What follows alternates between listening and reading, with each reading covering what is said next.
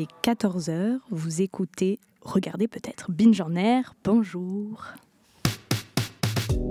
Salut, c'est Thomas Rozek. Salut, c'est Thomas Rozek. Oui, la première phrase est un peu toujours la même quelque part, vous l'aurez constaté. Et ça, j'adhère à ça complètement. Oui, donc vous dites que quoi À gauche, donc c'est pas. Alors, donc qu'est-ce que. Voilà.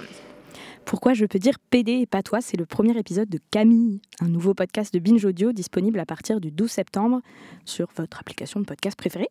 Cette nouvelle émission est présentée par Camille Regache qui est avec moi cet après-midi, j'allais dire ce matin. On n'a plus de notion de l'heure ici. Euh, alors Camille, qui est Camille Regache Chef d'édition, journaliste, productrice chez Binge Audio et nous avons la chance donc de l'avoir avec nous pendant une demi-heure. N'hésitez pas à poser vos questions, à réagir. Salut Camille, comment ça va? Salut Diane, ça va bien. T'es bien installée? Je suis bien installée. On entame quoi la 21, 21e, 22, 21e heure de ce direct, tout à fait. Bravo à celles et ceux qui, qui, ça commence à faire. parlent. Euh, alors, bienvenue. et pour ceux qui nous suivent encore et toujours, euh, on vous aime. Franchement, merci beaucoup. N'hésitez donc pas à poster vos messages. Je salue Thibaut qui est à la modération, Solène et Vincent qui sont en régie. Salut. Et pour démarrer cette demi-heure, je vous propose d'écouter ensemble la bande-annonce de Camille. Je suis née dans une société où l'on est soit homme, soit femme. J'ai grandi dans une société où l'on couche, on épouse, on élève un enfant uniquement avec une personne du sexe opposé. Je vis aujourd'hui dans une société où les droits des homosexuels avancent, mais les normes liées à l'hétérosexualité, elles, elles restent. Alors aujourd'hui, je me demande, est-ce qu'on a vraiment besoin du genre sur les papiers d'identité? Comment faire comprendre que traiter quelqu'un d'enculé, c'est homophobe? Et pourquoi un bon gay est un gay caché? Deux fois par mois, je vous propose de poser ces questions autour des normes de genre, de sexualité et d'identité dans un podcast qui parle des lesbiennes, des gays, des bi, des trans, mais surtout, surtout qui parle des hétéros. Ça s'appelle Camille. Camille pour le côté masculin et féminin. Camille pour le côté anonyme. Les zadistes comprendront. Camille, ah oui, parce que c'est aussi mon prénom.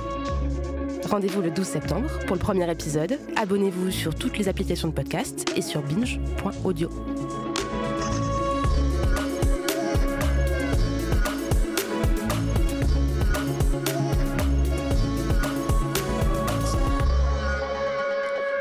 magnifique, quelle bande-annonce, quel programme.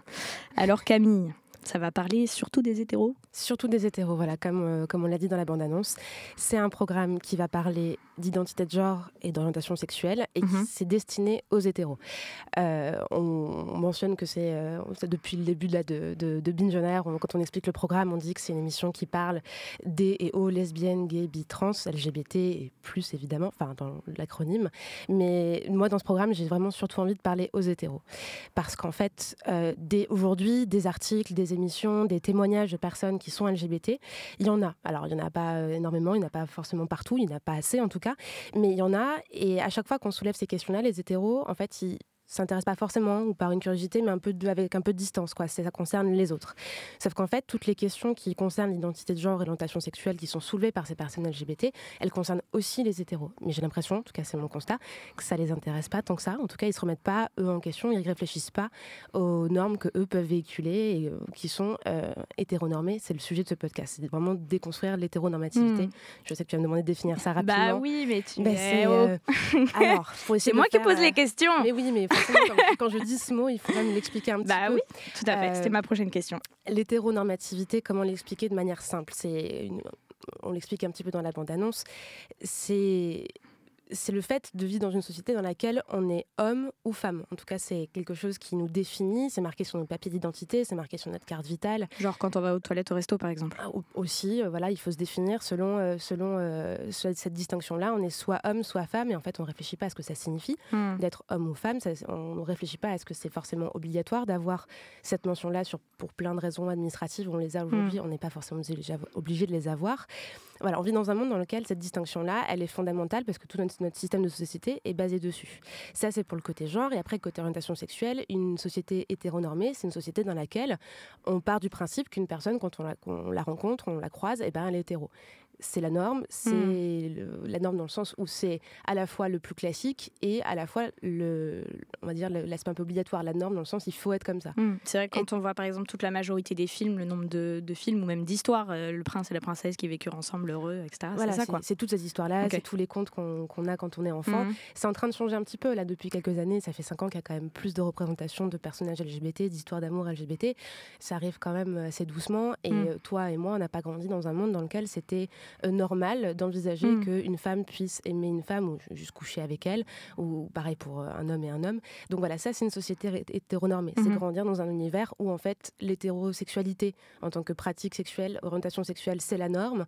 Et notre système de, de société globale, il est basé sur une distinction homme-femme. Et dans ce programme-là, moi j'ai envie qu'on décortique tout ça et qu'on essaie de dire d'où ça vient, pourquoi est-ce qu'on vit encore dans une société qui est, qui est fondée sur ces principes-là, Mhm. pourquoi est-ce que quand on commence à faire bouger un petit peu ces paramètres, on peut en réfléchir différemment à ce qui constitue nos identités Hmm. propres Nous définit. nous définit et parce, parce que les personnes qui dérogent à ces normes-là, dans le sens statistique, hein, c'est pas les normes dans le sens ils sont déviants, mais plus quand ces personnes qui font d'autres expériences, qui sont dans, dans les marges de cette définition-là, les personnes qui se définissent comme étant, euh, je dirais pas ni homme ni femme, mais dans une non-binarité, donc l'un n'exclut pas l'autre. Donc c'est des termes de gender fluide Hmm. ou de personnes qui, sont, qui se disent non-binaires, par exemple, comment ces personnes-là, par leur expérience, par leur réflexion, elles enrichissent aussi nos manières, nous, de se définir et de se poser des questions. Est-ce Mm. qu'on est vraiment obligé de se définir euh, dans sa vie tout le temps en Mm. tant que femme? Et surtout, qu'est-ce que ça veut dire? Et toi Camille, comment tu te définis? Alors, moi, je me définis déjà comme femme. Mhm. Euh, cisgenre, ça veut dire... Alors, enfin, j'explique aussi. Cisgenre, Eh ça oui. veut dire que mon genre, euh, qui est donc femme, correspond en fait au sexe biologique que j'ai eu à la naissance. Mhm. Je suis née femme dans un sens biologique et je me sens femme dans mon genre, c'est femme. Je vais expliquer après un peu la différence entre les deux. Euh, donc, femme, cisgenre, euh, lesbienne. Après, j'ai plein d'autres euh, caractéristiques euh, d'i- d'identité. C'est pas ce qui me définit Mhm. en termes principal. Mais euh, en l'occurrence, là, dans ce podcast-là, c'est ces caractéristiques-là qui font que j'ai envie, j'ai eu envie de faire ce programme-là et qui me donnent aussi, euh, on va pas dire une légitimité, mais en tout cas une raison d'en parler. N'hésitez pas d'ailleurs dans le chat à vous définir vous-même et à en discuter, puisqu'on est là pour euh, tout déconstruire. Décliner votre identité. C'est le mot-clé de ce binge en air, déconstruire. Alors, Camille, donc le podcast s'appelle Camille. Question, est-ce que Camille, ça serait appelé Jeannette? Si tu t'appelais Jeannette. Ah là, la question est compliquée. je sais pas d'où sort cette question, Diane. J'avais besoin. Non, quand j'ai dit que ça, quand je dis que ça s'appelle Camille, euh, première réaction des gens, c'est de dire bah t'es pas allé chercher très loin ce, ce titre Oui. quand même. Franchement, tu Parce que les gens ils pensent direct que t'as pris ton tu prénom pas et basta. Oui, alors Mm. je vais quand même euh, essayer de remettre les choses à plat. C'est pas un trip, euh, c'est pas un ego trip que, que je me fais en fait. choisissant Camille. Je suis là pour programme. témoigner. Il a fallu plusieurs semaines pour la convaincre Voilà. que c'était une bonne idée. voire même plusieurs mois. On va dire que c'était une idée de l'équipe que moi au départ je voulais pas parce que justement j'avais peur que ça euh, soit raccroché plutôt à Mhm. mon histoire, à mon parcours, ce qui est pas du tout intéressant. Je suis pas là pour parler de moi, de ce que j'ai vécu. Enfin, je suis euh, une parmi euh, tant d'autres. Mhm. euh, de, de tout genre, de toutes expériences, c'est pas ce qui est intéressant. Pourquoi j'ai gardé Camille? Pourquoi j'ai choisi de vous donner d'accord, vous donner raison, et de- d'appeler ce podcast Camille? C'est parce qu'en fait, parce que j'ai envie de parler aux hétéros de ces questions qui sont LGBT. Si on met une étiquette LGBT sur le, le nom du programme, euh, j'ai un peu peur que les gens n'aillent pas voir, en fait, n'aillent pas écouter, n'aillent pas se dire ça peut m'intéresser moi, ça peut me concerner moi. Parce que ça, c'est un peu de l'expérience personnelle. Mhm. Euh, ça- pendant trois ans, j'ai euh, co-animé euh, avec une équipe euh, de bénévoles sur Radio Campus Paris une émission qui s'appelle qui s'appelle Le Placard, qui s'appelait. Le Placard, qui était une émission LGBT. Et euh, on va dire que mais tous les gens qui m'étaient proches, qui se Mhm. considéraient donc pas forcément LGBT ni comme alliés, mais juste qui me côtoyaient, on parlait de ces questions-là ensemble, euh, n'allaient jamais écouter cette émission, absolument jamais. Ils me disaient ah oui, oui non c'est cool que tu le fasses, mais Et ils il te allaient- disait pourquoi? Non, juste, euh, ça, sous-entendu, ça me regarde pas, en fait, ça me concerne pas, je suis pas lesbienne, je suis Mm. pas gay, ou alors je me, je me revendique pas de cette étiquette-là, et du Mm. coup, n'allait pas écouter en se disant qu'ils allaient avoir, à l'intérieur de cette émission, euh, des outils pour, ça- pour s'analyser eux-mêmes, ou pour avoir des clés de compréhension de choses qu'ils pouvaient voir. pourtant, ça peut les concerner. On parlait beaucoup de séries, par exemple, des séries que les personnes hétéros regardaient aussi. Il n'y a pas de distinction, quoi. Et on donnait des clés d'analyse de ces, de ces séries-là, Mm. par exemple, de ces films ou des, des sujets d'actualité qui pouvaient euh, tomber dans leur, euh, dans leur flux de réseaux sociaux, euh, à, la, à la- à la Mhm. radio le matin. On, avait à peu près les mêmes pratiques culturelles et d'information, mais ils n'allaient jamais écouter l'émission. Ok. Et je- je pense, après c'est un peu une conviction personnelle, mais Mm. que le terme LGBT fait fuir beaucoup de personnes en fait. Mm. Et c'est dommage parce qu'en fait, quand vous- ceux qui ont gagné, c'est à la fois les personnes qui se considèrent LGBT, certes, parce qu'il y, a- il y a besoin aussi d'avoir des paroles euh, de gens qui nous ressemblent, parce qu'on a été longtemps en tant qu'LGBT invisibilisés, donc c'est évidemment extrêmement important d'avoir des paroles de ceux qui nous ressemblent, de ceux qui vivent la même chose, Mhm. de partager une parole. Mais après, quand on veut un peu élargir ça, le terme LGBT, bah, ça bloque, j'ai l'impression en tout cas. Si Mm. dans le chat vous avez d'autres expériences, dites-les, mais en tout cas, moi j'ai cette impression-là. Donc, Camille, pourquoi tout ça, ce long, long, long détour? Ça pour dire que ce titre un peu neutre, à la fois masculin et féminin, qui est à la fois sur le côté anonymisation et un peu un prénom de génération aussi, de ma génération, ça permettait en fait d'enlever cette première barrière-là pour aller écouter les, les émissions. Et, les, et dans les titres des, des épisodes, on sera un peu plus cash et c'est pas, fait. c'est pas par peur de ne pas dire les mots. On va les dire Mm. sans aucun problème. Les mots, c'est pas pour invisibiliser les, les LGBT qu'on ne met pas ce terme-là. Mais c'est un peu ça la stratégie. Si c'est- ça peut un peu expliquer. Yes. Du coup, ton podcast ambitionne de s'adresser à tout le monde. Bah, tout le monde, c'est toujours euh, à la fois. euh, Universel. Bah oui, l'objectif d'être universel et à la fois c'est un petit peu trop. Mhm. Non, j'aimerais bien que, ce- que les personnes qui sont euh, déjà sur un chemin de déconstruction en écoutant d'autres programmes de binge qui parlent déjà un petit peu parfois de ces questions-là d'identité, de, de, de- d'identité, de genre et de, d'orientation sexuelle. On en a déjà parlé dans d'autres programmes de binge. On en a parlé dans les coups sur la table, évidemment, mais aussi dans Kif Vous pouvez dans- acheter le livre d'ailleurs de Victoire. Absolument, absolument. Et, euh, donc dans Kif Taras, dans Miroir Miroir, c'est des questions qui, qui, qui ont déjà été traitées, mine de rien, dans, Mhm. dans les productions binge, de, même dans le courant de l'année Mhm. dernière. Mais il nous manquait Euh, un programme. Ben, il, il manque une manière d'y aller directement. Du coup, j'ai- j'aimerais que ça puisse parler aux personnes qui se posent ces questions-là, même un peu en périphérie, en, éco- en se- en Mhm. traitant d'autres questions euh, qui traitent de, de l'identité, des questions raciales, des questions de masculinité. Et j'aimerais que ça intéresse aussi des gens qui se posent pas forcément certaines questions en disant que bah non, ça les concerne pas du tout, de se déconstruire sur ce plan-là. quoi. Mm. Le premier épisode, c'est pourquoi je peux dire PD et pas toi. L'insulte PD, c'est quand même celle qui rassemble énormément de monde. euh, parce que c'est l'insulte qui est, qui est prononcée dans la cour de récréation quand on est extrêmement jeune. Elle revient extrêmement souvent. euh, elle- bon, je ne parle même pas des stades, des stades de foot. Grosse actualité.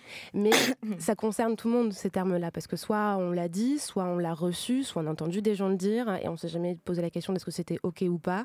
Voilà. Donc j'aimerais que ces émissions-là puissent parler à un public assez large. Après, Mm. évidemment, il faut déjà être prêt à un petit peu déconstruire ses, ses propres Mhm. clichés et sa propre identité, ce qui demande déjà un petit travail. et De, mais bon, l'idée, c'est quand même d'être assez, assez général et d'essayer d'interpeller tout le monde sur des choses de la vie courante, des, des situations qu'on a peut-être déjà vécues, qui peuvent nous concerner. Ok. Alors pour celles et ceux qui nous rejoignent, euh, je récapitule. Tu viens de nous dire que au quotidien, le monde est un peu divisé en deux catégories, les hommes et les femmes, qu'on est supposément hétérosexuel, qu'on est né homme, né femme, euh, que ce soit dans les toilettes d'un restaurant, dans un magasin de vêtements, dans les rayons des supermarchés, dans les stades, sur les applis de rencontres, toujours toujours ce M ou ce F à cocher, ce madame, ce monsieur à choisir, à dire, à écrire. Pourquoi c'est important de s'émanciper de cette norme? Parce qu'on n'a pas toujours besoin, déjà. On n'a pas forcément besoin de toujours se, de toujours se définir selon ces, ces termes-là. Par exemple, euh, quand on écoute euh, les personnes trans raconter leur vécu, ils disent par exemple quand ils sont, en- quand ils sont ni- dans une expression de genre, donc dans une apparence physique qui les ramène à un genre ou à l'autre, les gens sont dans une incompréhension totale. Ils ne savent pas dire bonjour madame ou bonjour monsieur, et ça fait paniquer les gens. C'est quand même fou qu'on soit dans un monde aujourd'hui où on a besoin de définir la personne en face Mhm. par son genre directement. Je, je, je t'étiquette comme femme, c'est important pour moi. Pourquoi? Mm. Je- Ça, on n'en a pas forcément besoin. On n'a pas besoin de perpétuer, perpétuer toutes ces normes-là autour notamment de la sexualité et de l'orientation sexuelle parce qu'elles sont, mine de rien, oppressives. Mm. Elles nous mettent C'est des- exclu. bah, ça exclut, ça nous met surtout plein de, plein de calques en tête, Mhm. plein de schémas, plein de, de- de scripts sexuels dont on n'a pas forcément besoin. À quel moment on a besoin de se conformer à quelle est la bonne manière euh, et avec la, quelle bonne personne on a le droit de coucher, de ne pas coucher. Mm. Toutes ces normes-là, en fait, elles, elles sont déjà une entrave euh, juste à une liberté individuelle. Ça, c'est une position un peu, un peu libérale. Chacun fait un peu ce qu'il veut, mais c'est pas Mm. que ça. C'est surtout que la société est construite là-dessus. À la limite, si on disait tout le monde a le droit d'être ce qu'il veut, de faire ce qu'il veut, on n'irait pas assez loin. On- il faudrait, il faut juste se poser la question de pourquoi notre système aujourd'hui, notre société complète, Mm. ne nous permet pas d'aimer, coucher avec qui on veut. voilà pourquoi est-ce qu'on a attendu 2013 pour avoir, euh, pour avoir un, un mariage égal pour personnes hétéros et personnes homosexuelles. Voilà, c'est tout ça, toutes ces questions-là qu'il faut réfléchir. Pourquoi est-ce que ça crispe autant euh, quand, on, quand on essaie de redéfinir les, redéfinir les, termes de père et de mère et de parentalité, etc. Enfin, il y a quand même des crispations qui sont visibles, surtout là à cette rentrée avec euh, le projet de loi euh, l'extension de la PMA. Donc, on voit bien que c'est des questions qui qui crispent les gens. Mhm. et qui reviennent tout le temps. Et qui reviennent et qui sont des questions d'actualité qui concernent mhm. tout le monde. Si on parle autant de PMA euh, dans les médias aujourd'hui, c'est pas uniquement parce qu'on parle des femmes lesbiennes, c'est parce qu'on parle d'une question de société mhm. très large qui concerne beaucoup de personnes et qui sont portés par des personnes qui, subissent en fait les hmm. blocages actuels et les normes actuelles et les lois actuelles, qui sont en l'occurrence les lesbiennes et les femmes seules. Tout à fait. Il est 14h15 et mais donc qui vous voulez, le moment parfait pour une petite pause musicale, car sans musique la vie serait une erreur, pas vrai. On écoute le générique de Camille composé par Solène Moulin, qui est d'ailleurs actuellement aux manettes de Binge Air.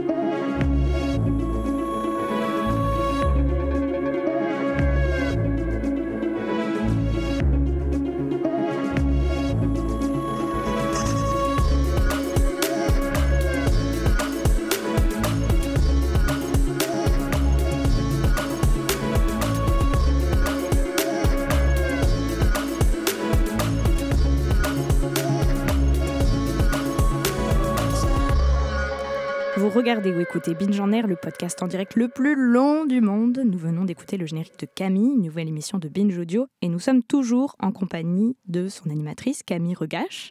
Camille, tu nous disais que tu allais aborder tout ce que nous prenons pour acquis, naturel, inné en ce qui concerne l'identité de genre et la sexualité. J'ai une question, alors brièvement si possible, quelle est justement la différence entre genre, sexe et sexualité? Oh wow. Euh, Vous avez trois heures. Et je vais essayer d'utiliser les bons termes. Oui. Euh, ce qu'on quand on parle de sexe, on parle en fait de. Je, vais faire, je simplifie un petit peu. On parle de biologie. Quand on est, on est considéré comme fille ou garçon selon soit des critères euh, de chromosomes, soit des critères d'apparence, où en fait hmm. on a tous les attributs. X, X, X, Y. Non, ça c'est un chromosome. oui. Et ça c'est les chromosomes. Et après, il y a aussi des critères de est-ce qu'on a ou pas euh, une apparence euh, hmm. physique, donc euh, des organes, on va dire ça de manière globale, qui sont attribués plutôt du sexe masculin, plutôt du sexe féminin. Ça c'est le sexe, c'est le côté biologique, hmm. pour faire simple. Le genre, c'est la manière dont une personne se ressent. C'est-à-dire que c'est la, la, manière dont l'identité est perçue par la personne. Cette identité-là, elle n'est pas forcément toujours en accord avec le sexe biologique. Je simplifie, mais c'est ça l'idée. C'est-à-dire que moi, par exemple, je suis née femme dans un terme biologique, j'ai un mhm. sexe féminin, mon genre est féminin, et comme c'est donc en accord, je suis une personne cisgenre. cisgenre.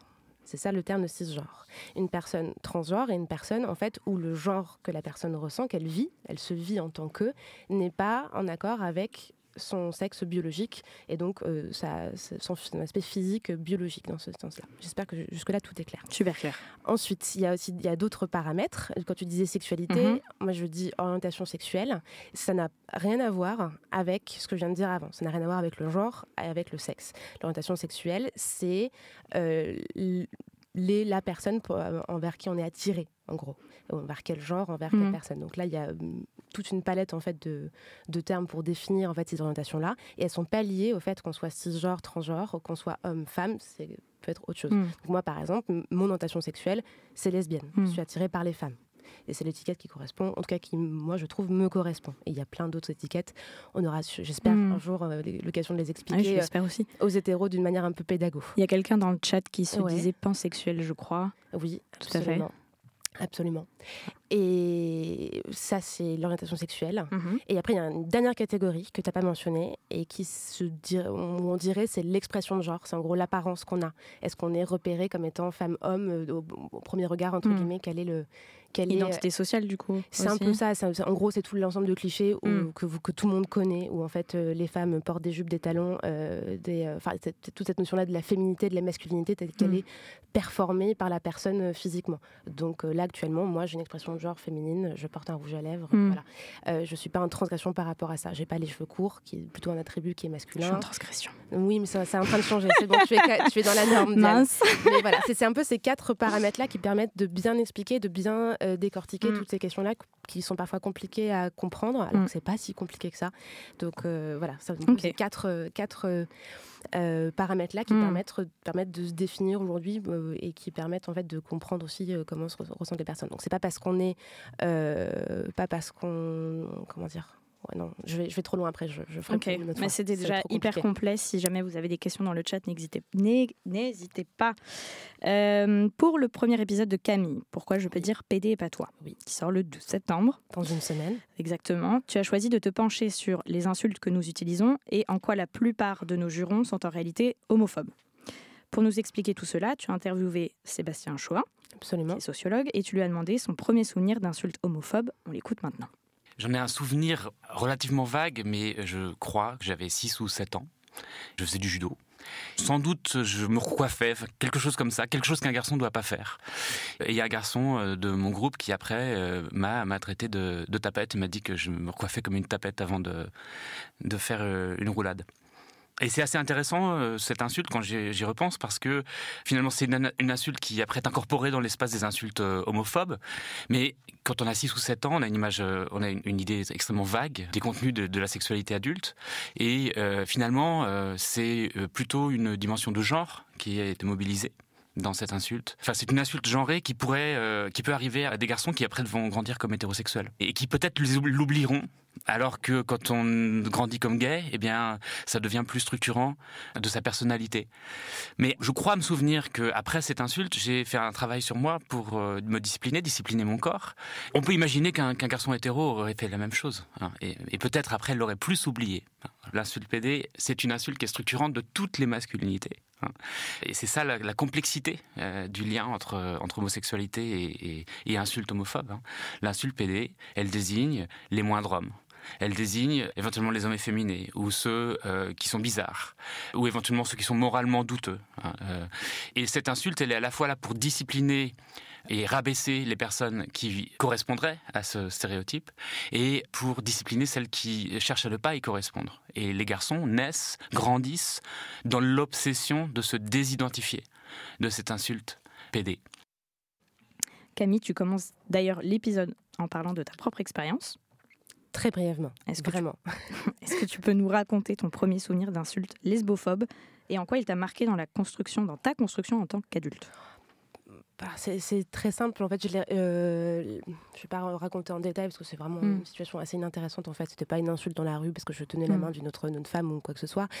C'était, euh, en, en gros, on m'a traité de lesbienne presque, presque comme une question, quasiment. En fait, mais en fait, toi, t'es lesbienne. Mais c'était dit d'une telle manière que, Mm. en fait, c'est ce que ce que je dis dans le premier épisode. Dès le départ, ce terme, en fait, il était, euh, il était négatif. Il, il fallait absolument pas répondre oui à cette question. Mm. Et en fait, ça, en y réfléchissant après, ça m'a fasciné de me dire à quel moment, en fait, à cet âge-là, j'avais 14 ans, 14 ou 15 ans, à quel moment, à cet âge-là, j'avais compris que Mm. ce terme-là, que j'avais jamais dû entendre ailleurs, il définissait quelque chose qui était mal, Mm. euh, qui était pas Hors correct, norme. qui était euh, hors norme, qui en Mm. tout cas avait une dimension, euh, une dimension d'interdit ou en tout cas de une espèce de réprimande morale. quoi. Et c'était déjà là, c'était déjà incorporé. C'était ce que dit Sébastien Chauvin en parlant de sa propre expérience. C'est qu'en fait, même si l'insulte ne m'avait jamais été adressée avant, même si j'avais jamais vu d'autres lesbiennes avant, parce que je n'avais absolument pas vu une seule lesbienne avant mes 14 ans, hein, c'est pas compliqué, les lesbiennes sont invisibilisées partout, tout le temps dans la société, donc clairement, j'en avais jamais vu.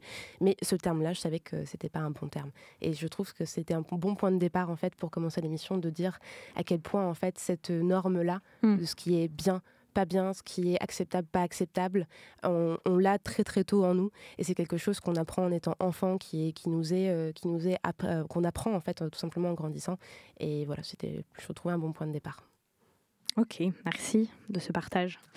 Euh, on a vu, euh, donc Sébastien Chauvin euh, vient de nous expliquer en quoi les insultes homophobes, type PD, tafiole, étaient structurantes des masculinités. Les insultes lesbophobes le sont tout autant des féminités. Et on, en- on écoute ensemble un extrait encore de Sébastien qui nous explique en quoi.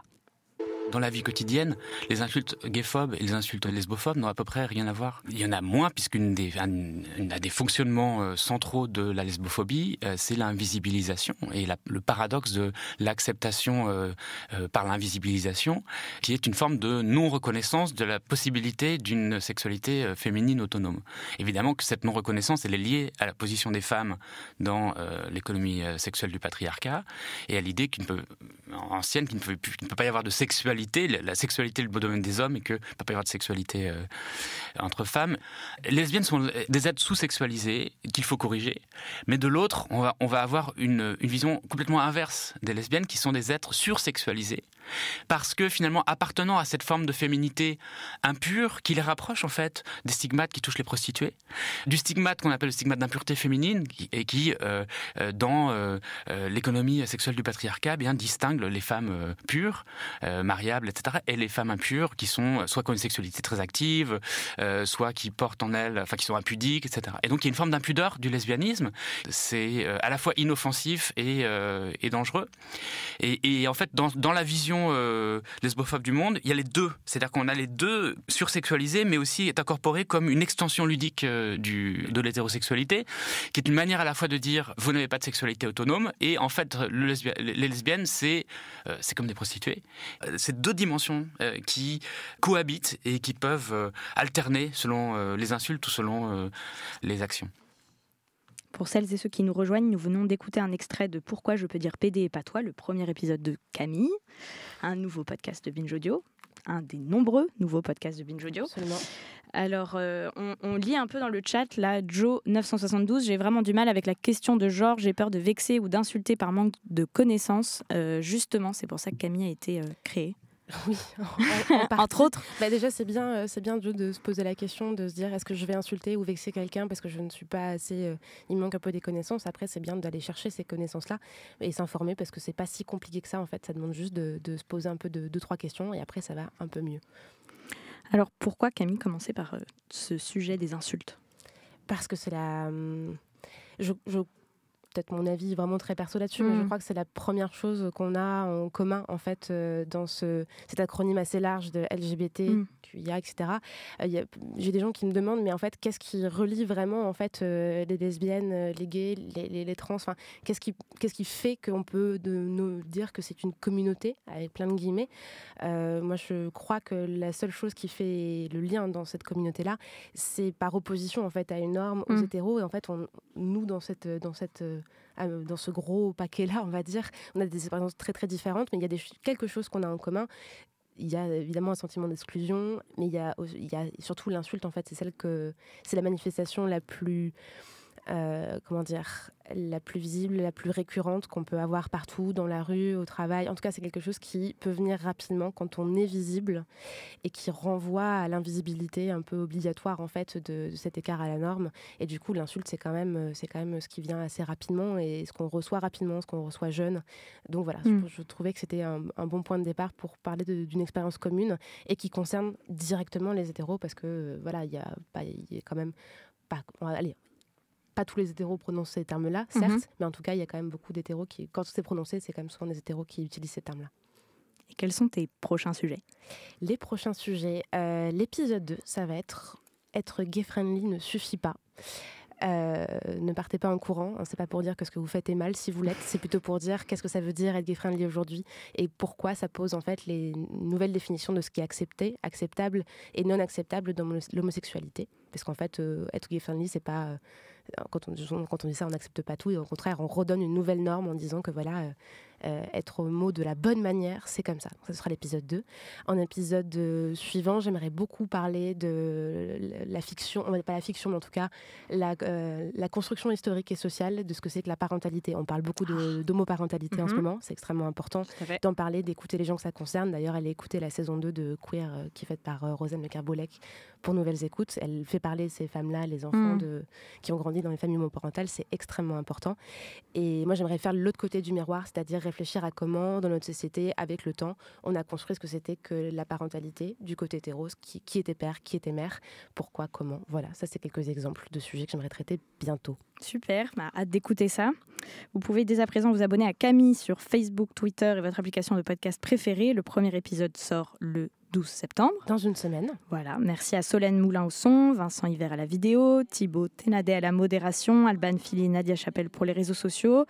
Si vous êtes euh, là encore un peu avec nous, on l'espère, restez. Il n'y a que des belles choses qui arrivent. N'oubliez pas, si vous êtes sur Paris, Toulouse, Marseille et peut-être Lyon, de prendre vos places pour le spectacle de Binge en scène. Si vous avez envie euh, de lire euh, un livre, on vous conseille celui des couilles sur la table qui va sortir le 30 octobre et qui est déjà disponible à l'achat. À la commande. Et oui, sans elle et sans eux qui sont tous autour de la table et surtout sans toi Camille. De... Il n'y aurait pas eu ce moment. Ah. Je laisse la place à Thibaut Chapman et Simon Lestan pour parler bon plan.